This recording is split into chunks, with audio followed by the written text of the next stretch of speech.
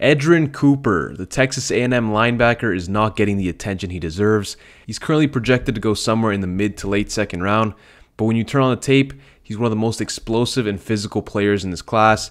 He put up the highest overall grade of any linebacker in the FBS last year, while also being third in run stop percentage and tied for first in sacks. The one knock on him, a fairly high missed tackle percentage, landing him somewhere in the middle of the pack. Besides that, he had a brilliant season. He impressed at the combine as well, finishing with a relative athletic score of 9.1. He has elite speed as he ran a 4.5140. He combines that with good length, explosiveness, and agility. He's got great numbers and athleticism. So now it's time to look at the tape.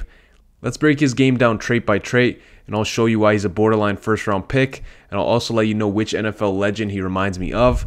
The thing that stands out immediately when you watch Cooper is the fact that he is a tone setter. He's aggressive and plays with unrivaled tenacity. Against Alabama, A&M loads up with this 4-3 look. The Tide run a misdirection with the right tackle and fullback pulling to the left. The traffic clears in front of Cooper, and there is no hesitation in his game. He closes the distance immediately, puts his head down, and levels this Alabama running back. And he plays sideline to sideline and to the whistle. Even when the play goes away from him, he still shows high level pursuit. He's a tackling machine, and his relentless attitude is perfect for an NFL linebacker. His tape is filled with hustle plays, and it speaks to his character as a leader of the Texas A&M defense. Another thing that jumps out is his play speed. He's got the speed to track down backs, cover tight ends, and QB spy at a high level. A speedy, aggressive linebacker like Cooper can also be a good remedy against a dual threat QB. His ability to explode once he diagnoses the handoff is uncanny and allows him to shut down plays near the line of scrimmage. You can use him to shoot gaps and create disruption in the backfield. He's a versatile chess piece that does his best work when he's close to the action and using his speed and physicality. Looking closer at his run defense, he's great at taking on blockers and filling gaps. He reacts quickly to movement in front of him and has impressive mental processing. No matter where you align him, he can excel with his mental speed. He avoids traffic well with his quickness, gets leverage on blockers, and then once he gets to the hole, he's a downhill competitor. He reminds me of Panthers legend Thomas Davis in the way that he plays bigger than his size and how he attacks gaps. He doesn't run through blockers, but he's smart, quick, and knows when to be patient and when to explode. On passing plays, Texas A&M liked using Cooper to either cover the running back, green dog blitz, or QB spy. A green dog blitz is when the defender is supposed to cover the halfback, but the back stays in a block, so the defender blitzes. All of these roles fit his traits well, as a spy, he has elite closing speed and can catch QBs off guard and sack them behind the line. He did this against the fastest QBs in college, including Milroe and Jayden Daniels. He times his attacks well and consistently executes. In coverage, I didn't see a lot of snaps of him in true coverage, but in the small sample size, I did notice some things I liked.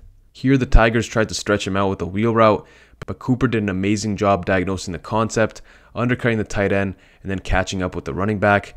This is an extremely impressive rep and highlights the rare movement ability Edgerrin has. He also has the speed to keep up with tight ends while also being able to absorb physicality and play through it. In zone, he's got good instincts and can jump route concepts with his high level closing speed. He's got the traits to succeed in this area but still needs some polishing all around.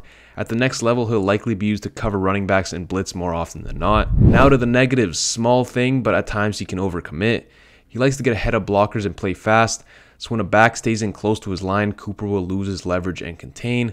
The bigger concern with Cooper is his size and power.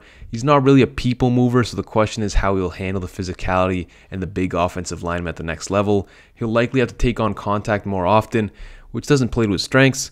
Overall, Edgerrin Cooper is my favorite linebacker in this draft. He plays with elite toughness and is a player who leads by example. He's quick to diagnose running plays and has the explosiveness to get out in front of blockers.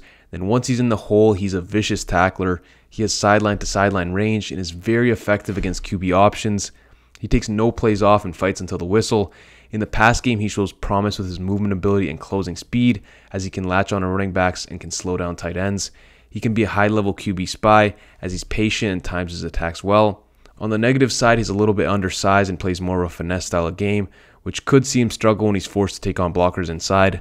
For this reason, I could see him being deployed as an outside linebacker where he has more space to operate. I see him going somewhere early in the second round, but I do expect him to be the first linebacker picked. So those are my thoughts on Edgerrin Cooper. Let me know what you guys think about him in the comments and who you want to see in the next video. That's all from me, and I'm out.